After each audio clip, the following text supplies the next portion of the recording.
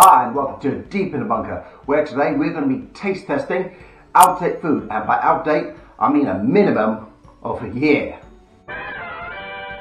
So there I was going through my uh, prep stores and I discovered a few out-of-date items uh, such as milk powder, uh, curry chicken, pate, etc. I thought, ah, that's not good, but can they really be bad for you if they're out of date? I mean, a year? Is it much?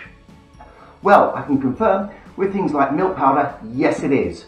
I had uh, Nido milk powder, full fat milk powder, 18 months out of date. I decided to open it, opened it off camera and drank it um, a few days ago and it did in fact give me gut ache. The worst thing was it didn't smell rancid, it didn't taste rancid, but I say it gave me a little bit of an upset stomach, sort of like uh, someone who has celiac or whatever, uh, bread intolerance, wheat intolerance, um, and you know for a day afterwards, mm, just not good. That sort of very indigestion feel. Um, you know, so in that SHTF, I wouldn't have it.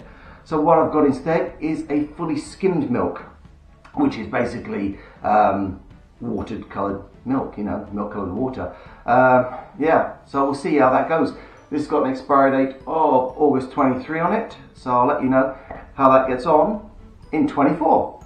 Anyway, enough of this lactose libration. Let's get on with what we came for, the taste test.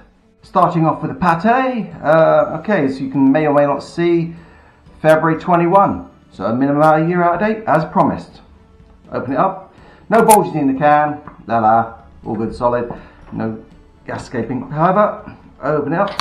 Whee! Well, it looks fine. Absolutely looks fine. Absolutely fine. But how does it taste? I mean, I will be very gingerly tasting this, you see.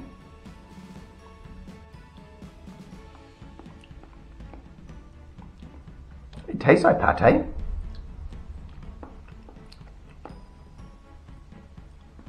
Nothing wrong with it at all. I mean, that's amazing. Hmm. Thumbs up. Right, let's just get a little drink of water, clear the palate.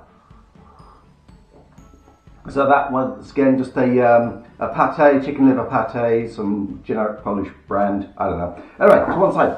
Let's try now the curry chicken, the El Mundo pulled Indian Madras chicken. Right, I've got two tins here. One's a little bit unreadable. It says something like 21 on it.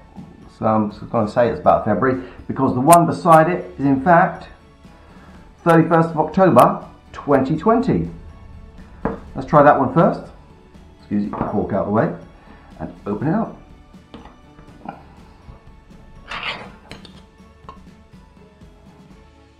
Once again, smells alright.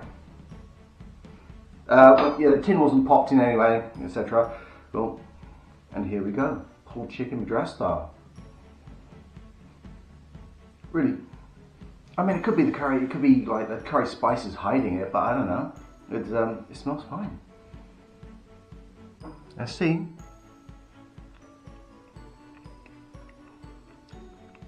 Mmm. Yeah, yeah, I'm happy with that. That's really spicy. Um, yeah, I'm a bit more dubious about that because like the, the um, all the spice in there could be masking the rancidness, but I can't also really can't get it. There's no, you know, nothing. It smells clean. It smells good. Take a little drink of water. Clear the palate.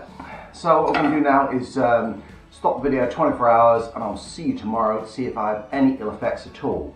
Because I'm not going to be stupid. I'm not going to eat all the tins. Um, but like I said, this is just a taste test and see if any reaction. It should occur within eight hours. See you tomorrow. Hmm. Hi, and welcome back to Deep in the Bunker, and welcome to tomorrow, of course.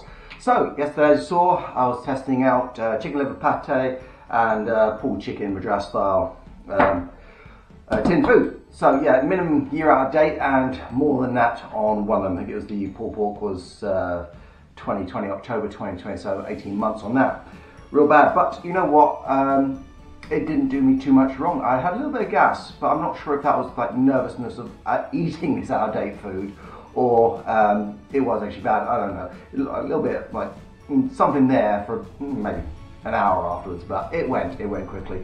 Uh, so I wouldn't really recommend eating it long time out of date unless your storage is good. I mean, I checked the tins; they were fine. No, no dents, no, um, no nothing to them. So I knew the seal was good. There was no bulges in them, but the taste itself, like I said, probably masked any rancidness on the pulled chicken. Uh, but chicken liver pate. Um, I was more than happy with that. Really was. I could have got some saltines out, spread on there, and be happy. So um, I'm happy. Uh, I'm alive, and I hope you're happy that you're joining me on this little adventure. Mm. So what, I'd like to do next time, um, if you come with me, will be to uh, prolong the life of tinned fruit through jamming, jellying, whatever you want to call it. And this is literally to prolong the life of um, my preps. You know, this is what now, uh, April 22, so literally out of date. Ah, around the corner, cool. Uh, a few days ago, but I'm not concerned about that. You know, I think uh, a shed load of sugar, a shed load of um, everything, it'll make a lovely uh, jam jelly. I made it last year with fresh, and I'm hoping, like I say, with a tinned, it'll be even easier because the uh, sugar syrup content in there anyway. So until next time, and I hope you stick around for that one, this has been Deep in the Bunker, saying take care, stay safe, stay sane.